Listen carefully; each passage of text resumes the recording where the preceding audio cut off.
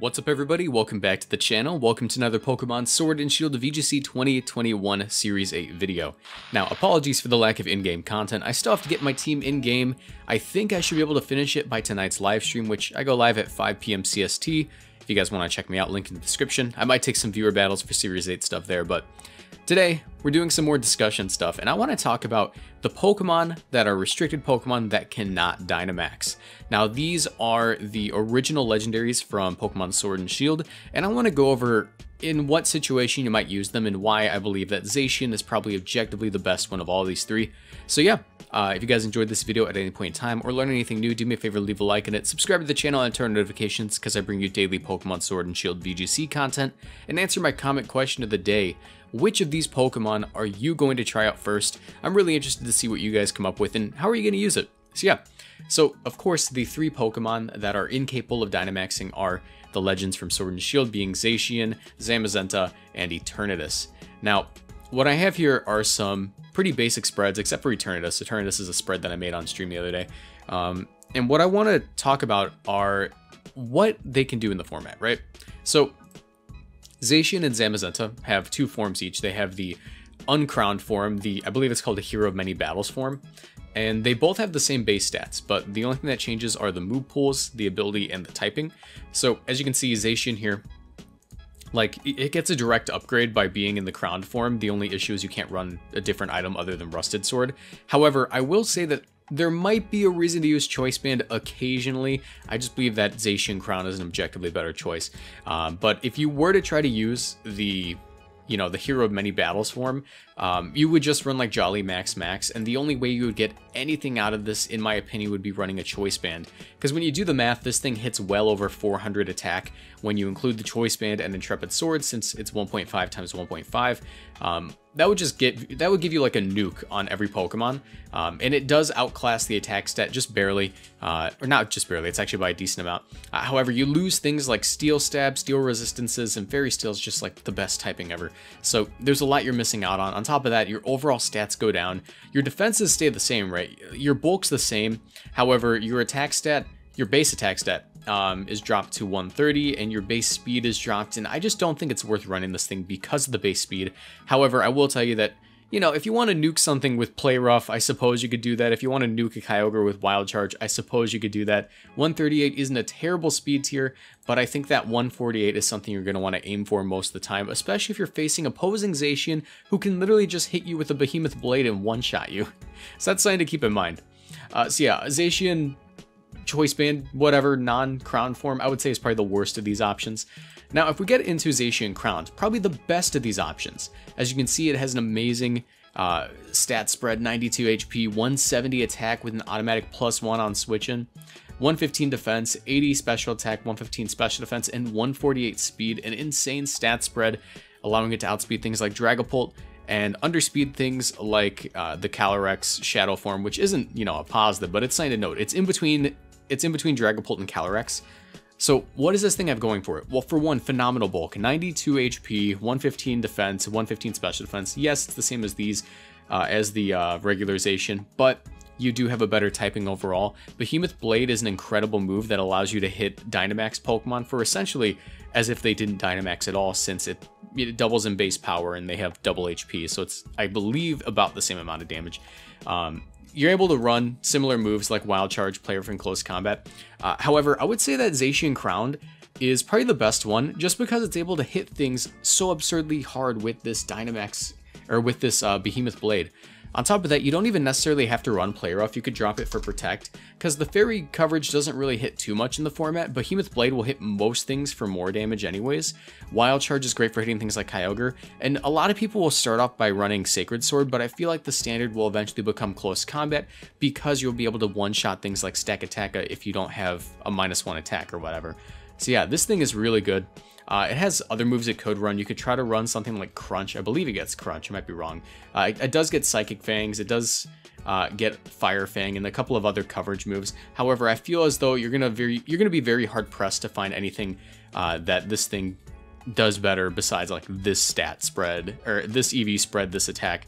Um, these attacks, I mean, like, yeah, you could maybe eventually drop some speed, run a little bit more bulk, Uh, and people will do that, but for now, for the beginning of the format, when we're still figuring things out, you're going to want to run max max most of the time, just until things, you know, settle down. We figure out which archetypes are running around, which archetypes rule the metagame. And yeah, on top of that, not being able to Dynamax means that um, you're to be able to, you're to be able to like put value on a different Dynamax Pokemon.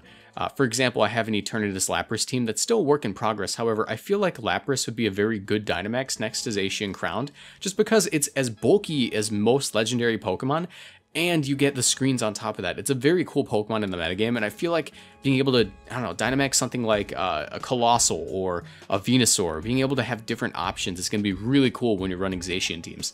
So yeah, I think Zacian Crowned is a phenomenal Pokemon, probably the best of all these three. Next up, we have Zamazenta, and I have a very novel spread. I will say this is a novel spread and a novel idea. Uh, I don't think this is how most people are going to run it. You could run a choice band on this thing, and it would be pretty strong.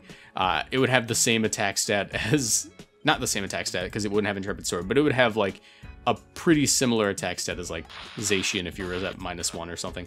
Um, 138 speed is pretty good on this thing. You do drop that speed stat when you shift over to the armored form. However, you don't have as much defenses, and you do lose a steel typing, which might be good, might be bad. Personally, I think Zamazenta missing on a Behemoth Bash is pretty bad for it.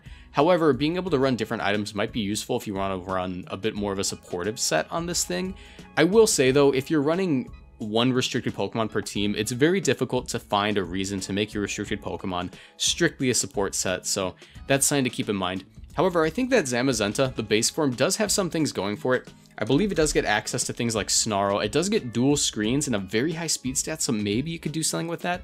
Uh, these Pokemon do get access to Howl, and Howl might be something cool. However, I feel like most of the time you're going to run something like Crunch, Iron Head, Close Combat, Protect, and that's like the only reason the only reason you would run this form would be to outspeed things like Tapu Koko, but at that point you would just run like Zacian Crowned.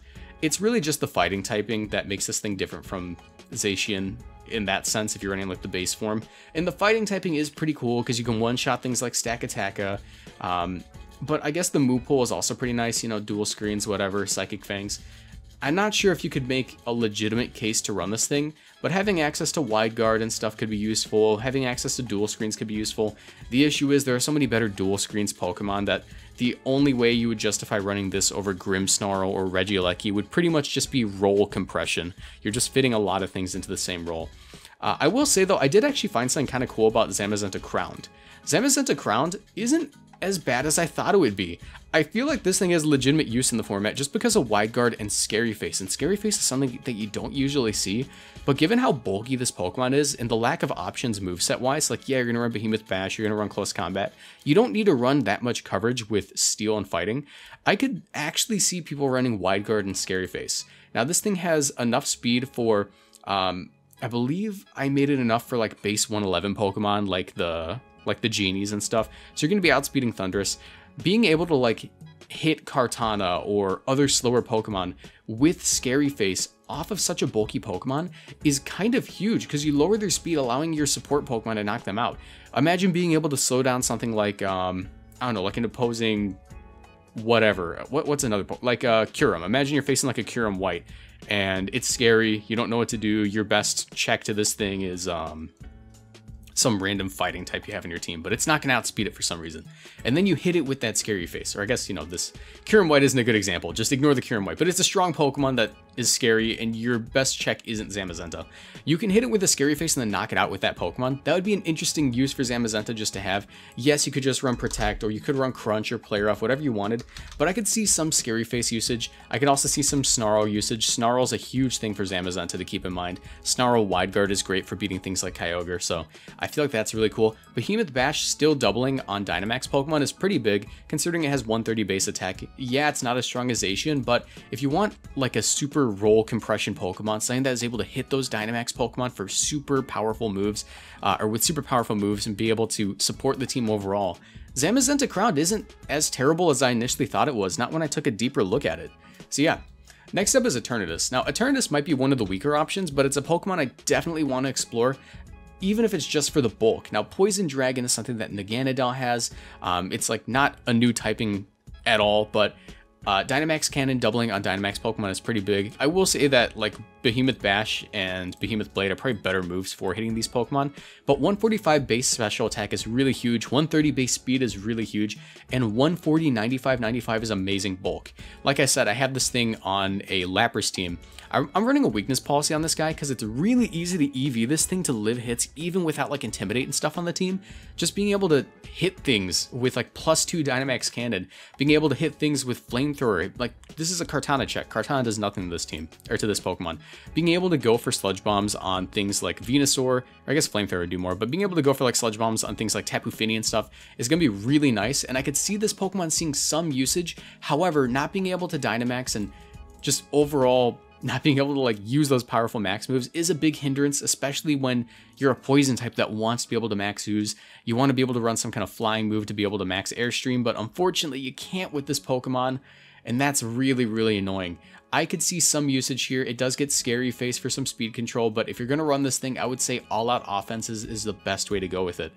You have no idea how bad I want to be able to use like Eterna Beam and Dynamax to have one of the strongest max Wyrmwinds ever, uh, but unfortunately that's just not a reality with Eternatus. Maybe you could run something with like Brutal Swing to activate a, a Metagross weakness policy or something, but I don't see this thing being good until we hopefully eventually get to run two Pokemon next to each other, because I could see Eternatus being a nice secondary uh, restricted Pokemon. But yeah, uh, let me know what you guys think of all these Pokemon in the comment section down below. These were just my thoughts on the non-Dynamaxing uh, restricted Pokemon. I want to know what you guys think. Comment down below if you enjoyed the video or if you have something to share. Leave a like if you enjoyed. And with that, I'm going to call it. Have a nice night, and I'll see you guys in the next video. Bye.